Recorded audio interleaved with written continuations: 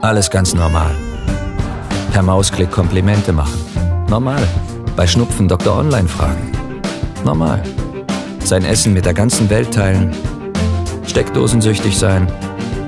Normal, nur mit Punkt und Komma zu lächeln. Zu Hause zu sein, wo das WLAN sich automatisch verbindet und seinen Followern mitzuteilen, wo man gerade ist. Warum sollte es da nicht normal sein?